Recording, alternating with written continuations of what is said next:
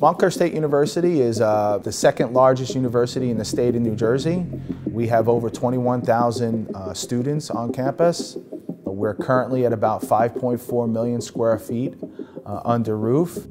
Around 2012, the decision was to move forward with the construction and installation of a brand new cogen facility that supplies the entire 5.4 million square feet of the university campus. I'm Kyle Gandy. I'm the electrical engineering manager for DCO Energy.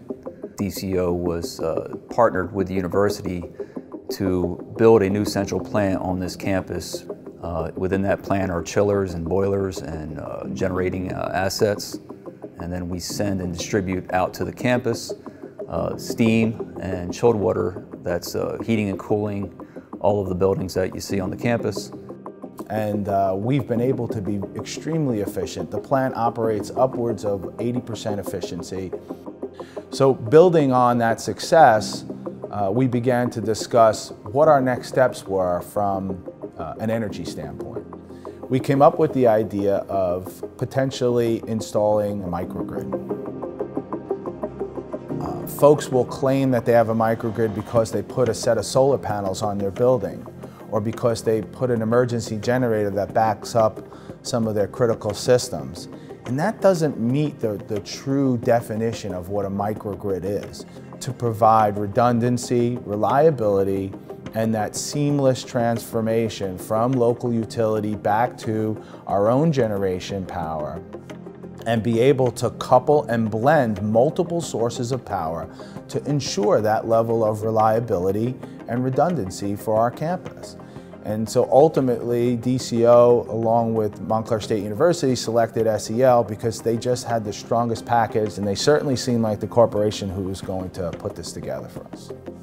When we were doing our due diligence as DCO, when we were interviewing, uh, some of the questions that we were asking, uh, one being, how are you going to manage VAR, reactive power control in island mode, with multiple generators from different manufacturers? And that's what we have here. That's a question that stumps a lot of people. Uh, it did not stump uh, the technical folks from SEL.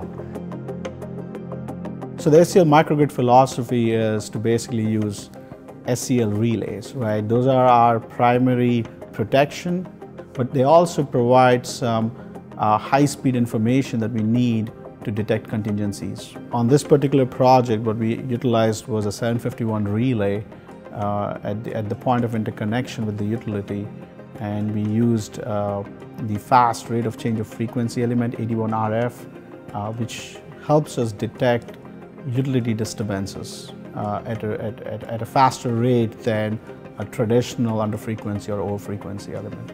So that helps us to quickly detect an anomaly or, or a disturbance on the utility, trip the point of common coupling breakers, separate the university and actually do load shedding.